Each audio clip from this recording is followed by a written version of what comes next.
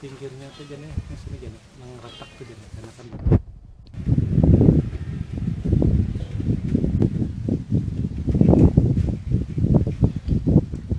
kejadiannya itu setelah sembahyang subuh.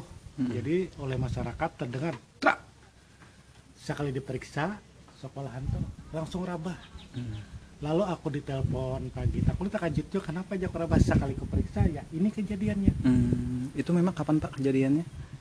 hari dua hari yang lalu.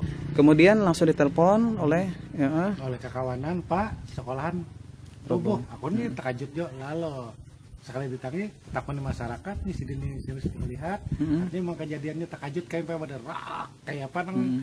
pohon rabah kayak itu nah Pak, kalau di kursi suatu memang ribut waktu itu angin ribut, Iya, hujan deras. iya hujan deras Oh, ini kayak gimana Pak? Iya, sebelumnya sudah kelihatan kan bahwa ada ada miring sedikit, tapi kan itu curiga apa lah istilahnya kan Hmm. biasa aja kalau bangunan tahu-tahu kan ya tuh timbul rabahnya aja tak kejadiannya. Oh.